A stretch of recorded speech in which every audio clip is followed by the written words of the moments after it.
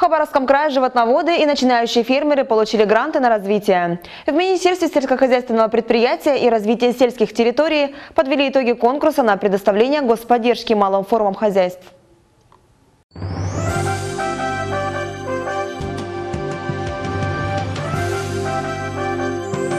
На грантовую поддержку начинающих фермеров в этом году выделено около 21,5 миллионов рублей из краевого и федерального бюджетов. Было подано 48 заявок, из которых комиссия отобрала 26. Это хозяйства из Комсомольска на Амуре, Бекинского, Вяземского, района имени Лазона, Найского и Хабаровского муниципальных районов. Максимальный размер гранта составил полтора миллиона рублей. Средства можно направить не только на развитие, но и на бытовое обустройство. Отдельный конкурс проводился для семейных животноводческих ферм. Здесь победителями признаны три хозяйства из Хабаровского и имени Лазо муниципальных районов.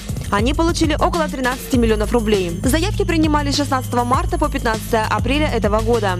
Отбор шел в два этапа – заочное обсуждение и личное собеседование. Главное условие для всех претендентов – готовность оплатить не менее 40% стоимости работ или услуг, а также приобретаемого за счет конкурсных средств, имущества и техники.